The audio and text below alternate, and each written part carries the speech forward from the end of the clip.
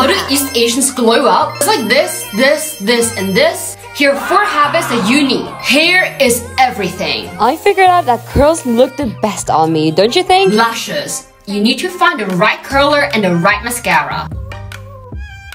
At the difference with the mascara without the mascara. The three, I didn't believe it, but blush. This one in Korea and let's try it out together. Look at the gorgeous colors. I need to show you guys this makeup brush set. It's so convenient if you travel a lot. Important point is, is how you apply the blush. I love to tap it here. Look at the color, this is so cute. Just right below your eyes.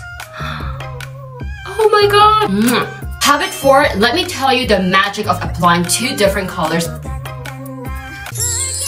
Look at this. The effects of little tricks is so insane. Follow for more.